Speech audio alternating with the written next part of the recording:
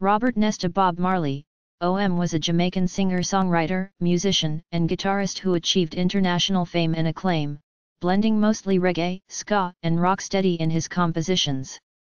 Starting out in 1963 with the group The Wailers, he forged a distinctive songwriter and vocal style that would later resonate with audiences worldwide. The Wailers would go on to release some of the earliest reggae records with producer Lee Scratch Perry. After the Wailers disbanded in 1974, Marley pursued a solo career upon his relocation to England that culminated in the release of the album Exodus in 1977, which established his worldwide reputation and produced his status as one of the world's best-selling artists of all time, with sales of more than 75 million records. Exodus stayed on the British album charts for 56 consecutive weeks. It included four UK hit singles, Exodus, Waiting in Vain, Jamming, and One Love. In 1978 he released the album Kaya, which included the hit singles Is This Love and Satisfy My Soul. Diagnosed with acral lentiginous melanoma in 1977, Marley died on May 11, 1981 in Miami at age 36. He was a committed Rastafari who infused his music with a sense of spirituality. He is considered one of the most influential musicians of all time and credited with popularizing reggae music around the world, as well as serving as a symbol of Jamaican culture and identity. Marley has also evolved into a global symbol and inspired numerous items of merchandise. Early life and career Bob Marley was born February 6, 1945 on the farm of his maternal grandfather in Nine Mile, St. Ann Parish, Jamaica, to Norval Sinclair Marley, 1885-1955, and Cedella Booker, 1926-2008. Norval Marley was a white Jamaican originally from Sussex, England, whose family claimed Syrian Jewish origins. Norval claimed to have been a captain in the Royal Marines, at the time of his marriage to Cedella Booker, an Afro-Jamaican then 18 years old, he was employed as a plantation overseer. Bob Marley's full name is Robert Nesta Marley, though some sources give his birth name as Nesta Robert Marley, with the story that when Marley was still a boy a Jamaican passport official reversed his first and middle names because Nesta sounded like a girl's name. Norval provided financial support for his wife and child but seldom saw them as he was often away. Bob Marley attended Stepney Primary and Junior High School which serves the catchment area of St. Ann. In 1955, when Bob Marley was 10 years old, his father died of a heart attack at the age of 70. Marley's mother went on to marry Edward Booker, an American civil servant. The relationship brought Marley two American brothers, Richard and Anthony. Marley and Neville Livingston, later known as Bunny Wailer, had been childhood friends in Nine Mile. They had started to play music together while at Stepney Primary and Junior High School. Marley left Nine Mile with his mother when he was 12 and moved to Trenchtown, Kingston. Cedella Booker and Thaddeus Livingston, Bunny Wailer's father, had a daughter together whom they named Claudette Pearl, who was a younger sister to both Bob and Bunny. Now that Marley and Livingston were living together in the same house in Trenchtown, their musical explorations deepened to include the latest R&B from American radio stations whose broadcasts reached Jamaica, and the new ska music. The move to Trenchtown was proving to be fortuitous, and Marley soon found himself in a vocal group with Bunny Wailer, Peter Tosh, Beverly Kelso, and Junior Braithwaite. Joe Higgs, who was part of the successful vocal act Higgs and Wilson, resided on 3rd St, and his singing partner Roy Wilson had been raised by the grandmother of Junior Braithwaite. Higgs and Wilson would rehearse at the back of the houses between 2nd and 3rd Streets, and it wasn't long before Marley, now residing on 2nd St, Junior Braithwaite and the others were congregating around this successful duo. Marley and the others didn't play any instruments at this time, and were more interested in being a vocal harmony group. Higgs was glad to help them develop their vocal harmonies, although more importantly, he had started to teach Marley how to play guitar thereby creating the bedrock that would later allow Marley to construct some of the biggest selling reggae songs in the history of the genre. Musical career 1962–72, Early years In February 1962, Marley recorded four songs, Judge Not, One Cup of Coffee, Do You Still Love Me, and Terror, at Federal Studio for local music producer Leslie Kong. Three of the songs were released on Beverly's with One Cup of Coffee being released under the pseudonym Bobby Martel. In 1963, Bob Marley, Bunny Wailer, Peter Tosh, Junior Braithwaite, Beverly Kelso, and Cherry Smith were called the Teenagers. They later changed the name to the Wailing Rude Boys, then to the Wailing Wailers, at which point they were discovered by record producer Coxsone Dodd, and finally to the Wailers. Their single Simmer Down for the Coxsone label became a Jamaican number one in February 1964 selling an estimated 70,000 copies. The Wailers, now regularly recording for Studio One, found themselves working with established Jamaican musicians such as Ernest Ranglin, arranger It Hurts to Be Alone, the keyboardist Jackie Mittoo and saxophonist Roland Alphonso. By 1966, Braithwaite, Kelso, and Smith had left the Wailers, leaving the core trio of Bob Marley, Bunny Wailer, and Peter Tosh. In 1966, Marley married Rita Anderson, and moved near his mother's residence in Wilmington, Delaware in the United States for a short time, during which he worked as a DuPont lab assistant and on the assembly line at a Chrysler plant, under the alias Donald Marley. Though raised as a Catholic, Marley became interested in Rastafari beliefs in the 1960s, when away from his mother's influence. After returning to Jamaica, Marley formally converted to Rastafari and began to grow dreadlocks. The Rastafari proscription against cutting hair is based on the biblical Samson, who as a Nazirite, was expected to make certain religious vows, including the ritual treatment of his hair as described in chapter 6 of the Book of Numbers, all the days of the vow of his separation there shall no razor come upon his head, until the days be fulfilled, in the which he separateth himself unto the Lord, he shall be holy, and shall let the locks of the hair of his head grow. Numbers 6, 5 KJV After a financial disagreement with Dodd, Marley and his band teamed up with Lee Scratch Perry and his studio band, The Upsetters. Although the alliance lasted less than a year, they recorded what many consider the Wailers' finest work. Marley and Perry split after a dispute regarding the assignment of recording rights, but they would remain friends and work together again.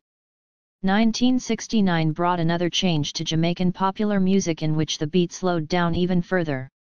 The new beat was a slow, steady, ticking rhythm that was first heard on the Maytals song Do the Reggae. Marley approached producer Leslie Kong, who was regarded as one of the major developers of the reggae sound. For the recordings, Kong combined the Wailers with his studio musicians called Beverly's All-Stars, which consisted of the bassists Lloyd Parks and Jackie Jackson, the drummer Paul Douglas, the keyboard players Gladstone Anderson and Winston Wright, and the guitarists Rad Bryan, Lynn Taitt, and Hux Brown. As David Moskowitz writes, the tracks recorded in this session illustrated the Wailers' earliest efforts in the new reggae style. Gone are the ska trumpets and saxophones of the earlier songs, with instrumental breaks now being played by the electric guitar. The songs recorded would be released as the album The Best of the Wailers, including tracks Soul Shakedown Party, Stop That Train, Caution, Go Tell It on the Mountain, Soon Come, Can't You See, Soul Captives, Cheer Up, Back Out, and Do It Twice. Between 1968 and 1972, Bob and Rita Marley, Peter Tosh, and Bunny Wailer recut some old tracks with Jad Records in Kingston and London in an attempt to commercialize the Wailers' sound. Bunny later asserted that these songs should never be released on an album, they were just demos for record companies to listen to. In 1968, Bob and Rita visited songwriter Jimmy Norman at his apartment in the Bronx. Norman had written the extended lyrics for Kai Winding's Time Is On My Side, covered by the Rolling Stones, and had also written for Johnny Nash and Jimi Hendrix. A three-day jam session with Norman and others, including Norman co-writer Al Pyfrom, resulted in a 24-minute tape of Marley performing several of his own and Norman Pyfrom's compositions. This tape is, according to reggae archivist Roger Steffens, rare in that it was influenced by pop rather than reggae, as part of an effort to break Marley into the American charts. According to an article in the New York Times, Marley experimented on the tape with different sounds, adopting a doo-wop style on Stay With Me and the slow love song style of 1960s artists on Splish for My Splash. An artist yet to establish himself outside his native Jamaica, Marley lived in Ridgmount Gardens, Bloomsbury, during 1972. 1972-74, moved to Island Records. In 1972, Bob Marley signed with CBS Records in London and embarked on a UK tour with American soul singer Johnny Nash. While in London the Wailers asked their road manager Brent Clark to introduce them to Chris Blackwell, who had licensed some of their Coxsone releases for his Island Records. The Wailers intended to discuss the royalties associated with these releases, instead the meeting resulted in the offer of an advance of £4,000 to record an album. Since Jimmy Cliff, Island's top reggae star, had recently left the label, Blackwell was primed for a replacement. In Marley, Blackwell recognized the elements needed to snare the rock audience, I was dealing with rock music, which was really rebel music. I felt that would really be the way to break Jamaican music. But you needed someone who could be that image. When Bob walked in he really was that image. The Wailers returned to Jamaica to record at Harry J's in Kingston, which resulted in the album Catch a Fire. Primarily recorded on an 8-track, Catch a Fire marked the first time a reggae band had access to a state-of-the-art studio and were accorded the same care as their rock and roll peers. Blackwell desired to create more of a drifting, hypnotic type feel than a reggae rhythm, and restructured Marley's mixes and arrangements. Marley travelled to London to supervise Blackwell's overdubbing of the album which included tempering the mix from the bass-heavy sound of Jamaican music and omitting two tracks. The Wailers' first album for Island, Catch a Fire, was released worldwide in April 1973, packaged like a rock record with a unique Zippo lighter lift top. Initially selling 14,000 units, it didn't make Marley a star, but received a positive critical reception. It was followed later that year by the album Burnin' which included the song I Shot the Sheriff. Eric Clapton was given the album by his guitarist George Terry in the hope that he would enjoy it. Clapton was suitably impressed and chose to record a cover version of I Shot the Sheriff which became his first US hit since Layla two years earlier and reached number one on the Billboard Hot 100 on September 14, 1974. Many Jamaicans were not keen on the new reggae sound on Catch a Fire, but the trench town style of Burnin' found fans across both reggae and rock audiences.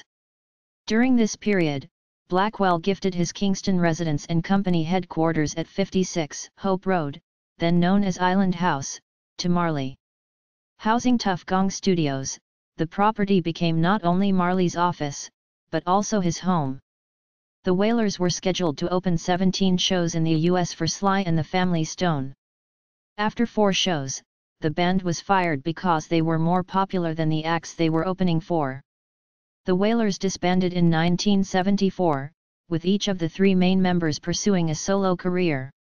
The reason for the breakup is shrouded in conjecture, some believe that there were disagreements amongst Bunny Wailer, Peter Tosh, and Marley concerning performances, while others claim that Wailer and Tosh simply preferred solo work. 1974-76, line-up changes and shooting. Despite the breakup, Marley continued recording as Bob Marley and the Wailers. His new backing band included brothers Carlton and Aston family man Barrett on drums and bass respectively, Junior Marvin and Al Anderson on lead guitar, Tyrone Downey and Earl Lindo on keyboards, and Alvin Seeco Patterson on percussion. The I-Threes, consisting of Judy Mowatt, Marcia Griffiths, and Marley's wife, Rita, provided backing vocals. In 1975, Marley had his international breakthrough with his first hit outside Jamaica, No Woman, No Cry, from the Natty Dread album. This was followed by his breakthrough album in the United States, Rastaman Vibration, 1976, which reached the top 50 of the Billboard Soul charts. On December 3, 1976, two days before Smile Jamaica, a free concert organized by the Jamaican Prime Minister Michael Manley in an attempt to ease tension between two warring political groups, Marley, his wife, and manager Don Taylor were wounded in an assault by unknown gunmen inside Marley's home. Taylor and Marley's wife sustained serious injuries, but later made full recoveries. Bob Marley received minor wounds in the chest and arm. The attempt on his life was thought to have been politically motivated, as many felt the concert was really a support rally for Manley. Nonetheless, the concert proceeded, and an injured Marley performed as scheduled, two days after the attempt. When asked why, Marley responded, the people who are trying to make this world worse aren't taking a day off. How can I? The members of the group Zap Pow played as Bob Marley's backup band before a festival crowd of 80,000 while members of the Wailers were still missing or in hiding. 1976–79, Relocation to England Marley left Jamaica at the end of 1976, and after a month-long recovery and writing sojourn at the site of Chris Blackwell's Compass Point Studios in Nassau, Bahamas, arrived in England, where he spent two years in self-imposed exile. Whilst in England, he recorded the albums Exodus and Kaya. Exodus stayed on the British album charts for 56 consecutive weeks. It included four UK hit singles, Exodus, Waiting in Vain, Jamming, and One Love, a rendition of Curtis Mayfield's hit, People Get Ready. During his time in London, he was arrested and received a conviction for possession of a small quantity of cannabis. In 1978, Marley returned to Jamaica and performed at another political concert, the One Love Peace Concert, again in an effort to calm warring parties. Near the end of the performance, by Marley's request, Michael Manley, leader of then-ruling People's National Party, and his political rival Edward Seaga, leader of the opposing Jamaica Labour Party, joined each other on stage and shook hands. Under the name Bob Marley and the Wailers 11 albums were released, four live albums and seven studio albums. The releases included Babylon by Bus, a double live album with 13 tracks, were released in 1978 and received critical acclaim. This album, and specifically the final track Jamming with the Audience in a Frenzy, captured the intensity of Marley's live performances. 1979-81, later years. Survival, a defiant and politically charged album, was released in 1979. Tracks such as Zimbabwe, Africa Unite, Wake Up and Live, and Survival reflected Marley's support for the struggles of Africans. His appearance at the Amandla Festival in Boston in July 1979 showed his strong opposition to South African apartheid, which he already had shown in his song War in 1976. In early 1980, he was invited to perform at April 17 celebration of Zimbabwe's Independence Day. Uprising, 1980, was Bob Marley's final studio album, and is one of his most religious productions, it includes Redemption Song and Forever Loving Ya. Confrontation, released posthumously in 1983, contained unreleased material recorded during Marley's lifetime, including the hit Buffalo Soldier and new mixes of singles previously only available in Jamaica. Illness and Death In July 1977, Marley was found to have a type of malignant melanoma under the nail of a toe. Contrary to urban legend, this lesion was not primarily caused by an injury during a football match that year, but was instead a symptom of the already existing cancer. Marley turned down his doctor's advice to have his toe amputated, citing his religious beliefs, and instead the nail and nail bed were removed and a skin graft taken from his thigh to cover the area.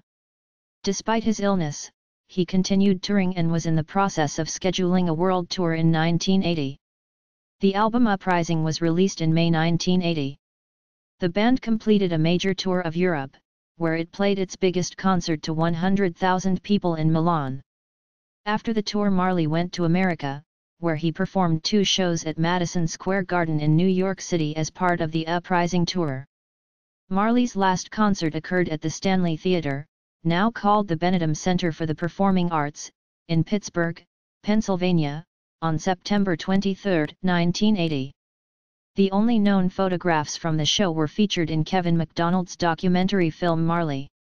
Shortly afterwards, Marley's health deteriorated as the cancer had spread throughout his body.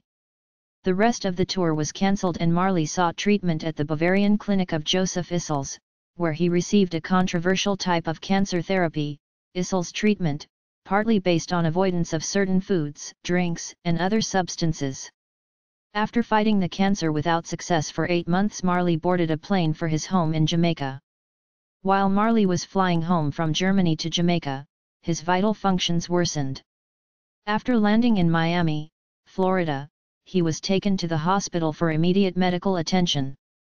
Marley died on May 11, 1981 at Cedars of Lebanon Hospital in Miami, now University of Miami Hospital, aged 36. The spread of melanoma to his lungs and brain caused his death. His final words to his son Ziggy were money can't buy life. Marley received a state funeral in Jamaica on May 21, 1981, which combined elements of Ethiopian orthodoxy and Rastafari tradition. He was buried in a chapel near his birthplace with his red Gibson Les Paul, some accounts say it was a Fender Stratocaster. On May 21, 1981, Jamaican Prime Minister Edward Seaga delivered the final funeral eulogy to Marley, declaring Personal life Religion Bob Marley was a member for some years of the Rastafari movement, whose culture was a key element in the development of reggae.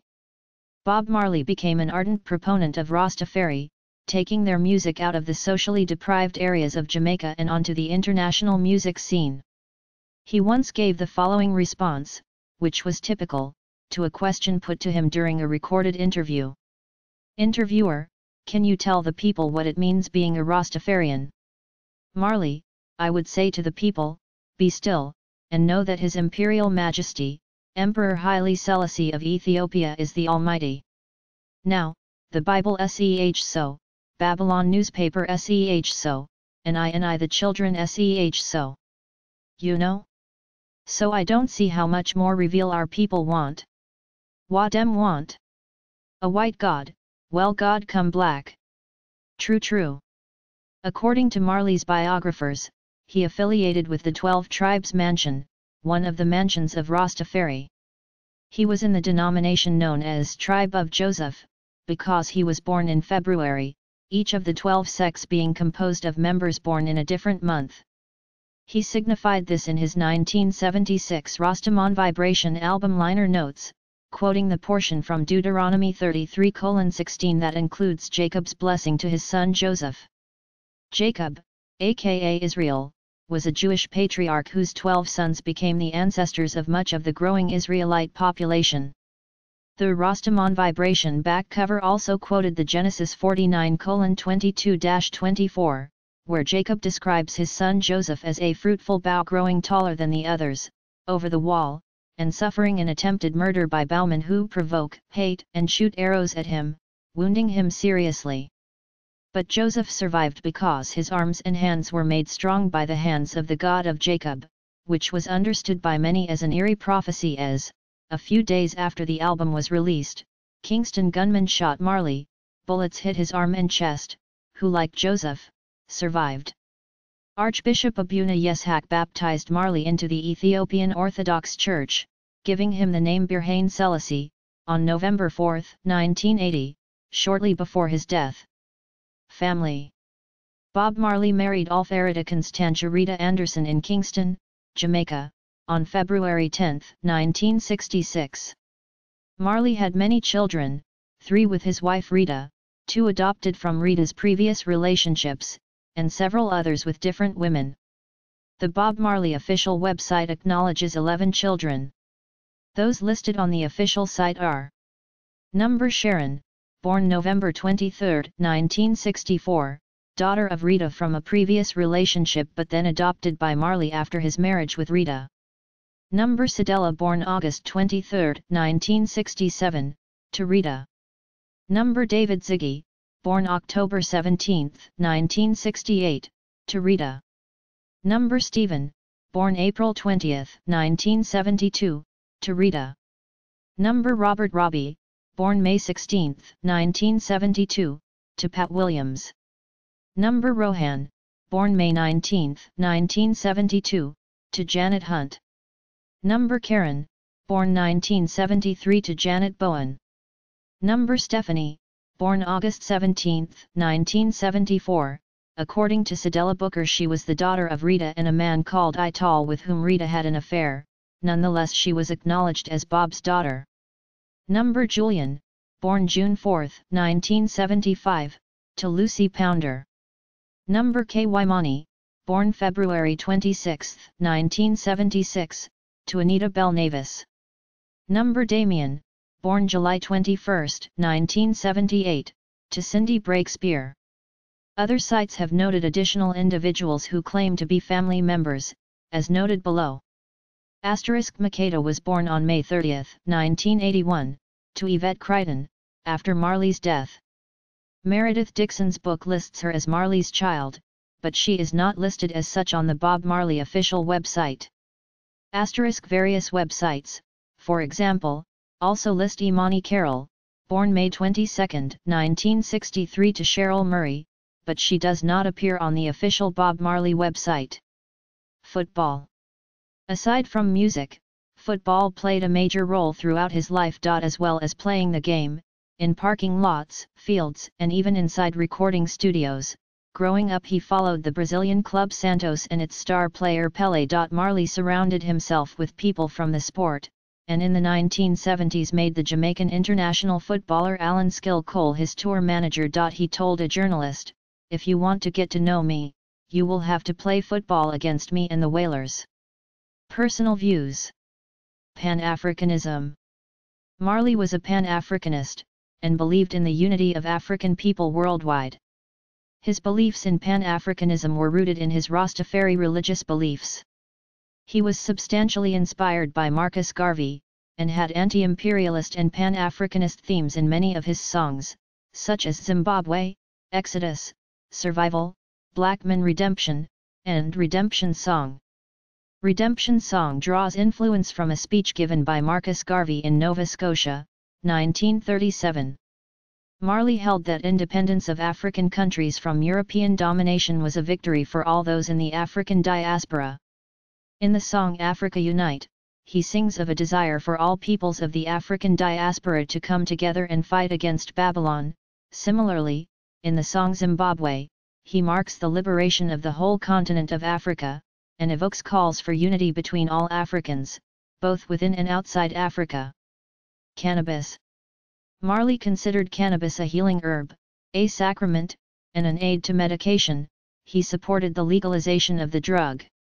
He thought that marijuana use was prevalent in the Bible, reading passages such as Psalms 104:14 as showing approval of its usage. Marley began to use cannabis when he converted to the Rastafari faith from Catholicism in 1966. He was arrested in 1968 after being caught with cannabis, but continued to use marijuana in accordance with his religious beliefs. Of his marijuana usage, he said, When you smoke herb, herb reveal yourself to you. All the wickedness you do, the herb reveal itself to yourself, your conscience, show up yourself clear, because herb make you meditate. Is only a natural teeing and it grow like a tree.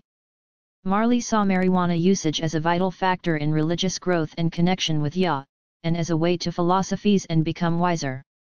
Legacy Other tributes A statue was inaugurated, next to the National Stadium on Arthur Wint Drive in Kingston to commemorate him. In 2006, the New York City Department of Education CO named a portion of Church Avenue from Remsen Avenue to East 98th Street in the East Flatbush section of Brooklyn as Bob Marley Boulevard. In 2008, a statue of Marley was inaugurated in Banatski Sokolac, Serbia. Internationally, Marley's message also continues to reverberate among various indigenous communities. For instance, the Australian Aboriginal people continue to burn a sacred flame to honour his memory in Sydney's Victoria Park, while members of the Amerindian Hopi and Havasupai tribe revere his work RP5. There are also many tributes to Bob Marley throughout India, including restaurants, hotels, and cultural festivals. Marley has also evolved into a global symbol, which has been endlessly merchandised through a variety of mediums. In light of this, author Dave Thompson in his book Reggae and Caribbean Music, laments what he perceives to be the commercialized pacification of Marley's more militant edge, stating, Several film adaptations have evolved as well. For instance, a feature-length documentary about his life, Rebel Music, won various awards at the Grammys. With contributions from Rita, the Wailers, and Marley's lovers and children, it also tells much of the story in his own words. In February 2008, director Martin Scorsese announced his intention to produce a documentary movie on Marley.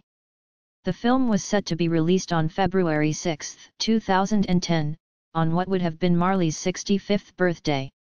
However, Scorsese dropped out due to scheduling problems. He was replaced by Jonathan Demme, who dropped out due to creative differences with producer Steve Bing during the beginning of editing. Kevin MacDonald replaced Demme in the film, Marley, was released on April 20, 2012. In March 2008, the Weinstein Company announced its plans to produce a biopic of Bob Marley, based on the book No Woman No Cry, My Life with Bob Marley by Rita Marley. Rudy Langlais will produce the script by Lizzie Borden and Rita Marley will be executive producer. In 2011, ex-girlfriend and filmmaker Esther Anderson, along with Gian Godoy, made the documentary Bob Marley, The Making of a Legend, which premiered at the Edinburgh International Film Festival. In October 2015, Jamaican author Marlon James' novel A Brief History of Seven Killings, a fictional account of the attempted assassination of Marley, won the 2015 Man Booker Prize at a ceremony in London.